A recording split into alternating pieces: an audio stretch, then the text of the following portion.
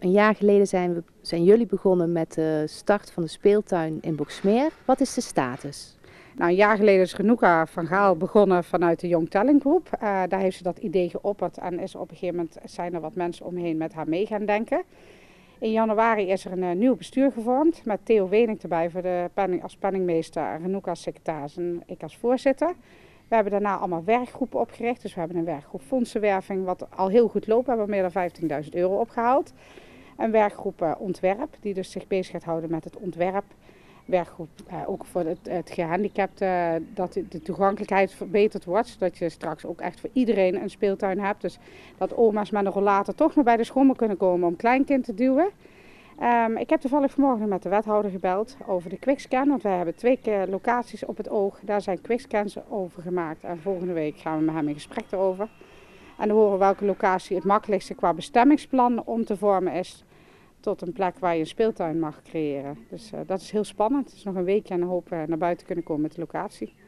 Dit is inderdaad spannend. En ja. vandaag is uh, een evaluatiemoment van de kinderraad. Kun je daar wat meer over vertellen? Ja, als je een speeltuin hebt, wat moet je dan hebben? Dan moet je kinderen hebben. Kinderen kunnen het beste uitleggen welke speeltoestellen je wilt, welke naam aanspreekt. En uh, daarom is er een kinderraad in het leven gesteld. Er zitten hele enthousiaste kinderen en die hebben hele leuke ideeën. Hebben ook al geld opgehaald. Dus ze zijn erg goed bezig. En daarom zijn we nu bijeen om dit te evalueren. Nick en Nora, op 9 april is er iets heel bijzonders begonnen in Boksmeer. Kunnen jullie daar wat over vertellen? Ja, de kinderraad van de speeltuin is begonnen in Boksmeer. En wat betekent dat? Um, dat er een speeltuin komt voor iedereen. En jullie zitten denk ik in de kinderraad. En wat hebben jullie um, gedaan in die kinderraad? Wat is de bedoeling van de kinderraad? Uh, wij gaan speeltoestellen uitkiezen um, en geld ophalen. Een speeltuin, daar hoort natuurlijk speeltoestellen bij. Hebben jullie daar ook over nagedacht? Uh, we hebben bijvoorbeeld een wandelpad voor de ouderen of gehandicapten. En uh, ook een riviertje en zo. Oké. Okay. En wat nog meer, Nick? Een tijdschriften voor opa en oma's en gehandicapten. Een wandelpad, speeltoestellen, klinterspellen, iets van water en glijbanen. Als ik aan speeltoestellen denk, dan denk ik aan een glijbaan, en een schommel en een wip. Maar er is vast nog veel meer. Hoe zijn jullie erachter gekomen wat voor speeltoestellen er allemaal zijn? Door in boekjes te kijken waar allemaal speeltoestellen in staan. En wat heb je, hebben jullie allemaal uitgezocht, Nick? Um, ja, zeg maar de klimspullen en iets voor de opa en oma's. En vooral voor gehandicapten ook dingen. En wat is jouw favoriet? Uh, ik vind de hele speeltuin wel erg leuk. Is er al een andere naam voor de speeltuin zelf? Dat weten we nog niet. Volgens mij kunnen, kunnen alle kinderen in Boksmeer meedoen aan een actie, of niet? Ja. En al die kinderen kunnen hun naam kunnen ze via e-mail sturen, maar wat veel bijzonderder is, ook in een doos stoppen. En wat is er met die doos, Thomas? Die heb ik gemaakt samen met mijn zusje en met mijn vriend. Echt waar? Wat heb je, wat heb je gemaakt? We hebben een speeltoestel erop gemaakt. En nog een lampje.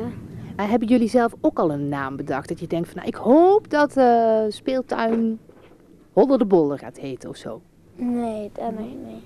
En jij? Nee. En het kost zo'n speeltuin natuurlijk ontzettend veel centjes. Hebben jullie daar als kinderraad ook aan gewerkt? Ja, we hebben uh, uh, zeg maar flessen ingezameld en hebben meer dan 1100 euro opgehaald. We hebben ook collecten gedaan voor um, de speeltuin. En weet je ook hoeveel je daarmee hebt opgehaald? 750 euro. Zijn jullie met nog meer acties bezig om geld te verdienen voor de speeltuin? Uh, we hebben ook bij de Jumbo in de Jan Linders geven we dan het dubbele van de flessen. Zo, dat uh, tikt mooi aan. En gaan jullie zelf dan langs alle huizen om uh, flessen bij mensen te verzamelen? Of hoe komen jullie aan die flessen? we doen aan deuren flessen vragen. Hebben jullie al plannen hoe alles eruit komt te zien? Ja, de tekeningen die gaat Cindy maken en alle ideeën die wij uh, opschrijven en uh, bedacht hebben, die gaan dan naar Cindy en die gaan dat, gaat dat tekenen. Oké, en hebben jullie Cindy ook al ontmoet? Ja, die was de eerste vergadering erbij.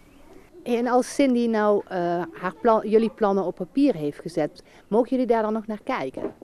Eh, ja, dat mag. En ook nog zeggen van nou, dat vinden we niet zo leuk wat je daar hebt neergezet. Ja, dat mag. Ja? Dus de kinderraad heeft eigenlijk een hele belangrijke stem. Ja. We hebben net alle kinderen aan het woord eh, gehoord. Daar zijn jullie de afgelopen weken mee bezig geweest. En nu, hoe verder? Ja, wij zijn, eh, onlangs zijn wij eh, nog met een paar kinderen van de kinderraad zijn we bij de manege in Rijkenvoort geweest. Daar hebben we ook de speeltuin onder de aandacht gebracht. En van daaruit heeft de eigenaresse van de manege aangegeven dat wij eh, op de zondag van de kermis ponyritjes mogen gaan verzorgen. En dat het geld daarvan zeg maar, ten goede komt aan onze stichting. Ook hebben we al begrepen dat eh, twee supermarkten, eentje is ons al wat langer aan het sponsoren, zeg maar. En de andere supermarkt gaat ook mee de statiegeldflessen voor ons inzamelen. En zo zijn we eigenlijk allerlei aan het initiatieven aan het ontplooien om eh, uiteindelijk het totale bedrag bij elkaar te halen. En eh, om de speeltuin tot stand te brengen. De speeltuin komt inderdaad in Boksmeer. Maar wij willen het echt ook iets voor het hele land van Kuik maken. Dus we zijn eigenlijk sinds vorige week ook gestart om de scholen van Kuik te benaderen. En als die dadelijk ook mee het gaan dragen, zeg maar, dan gaan we ook eh, richting Mil, Graven zitten. Dus dat het echt iets van het hele land van Kuik wordt. En het is gewoon echt heel mooi om te zien dat het draagvlak steeds groter wordt. En dat we al bijna 900 volgers op Facebook hebben. En op Facebook bijvoorbeeld kunnen mensen ook zien wat eh, de komende acties zijn? Ja, op, op Facebook houden we steeds, plaatsen we steeds de dingen waar we mee bezig zijn, wat ze van ons kunnen verwachten. En dat het niet alleen iets van ons is, maar gewoon iets van de hele gemeenschap.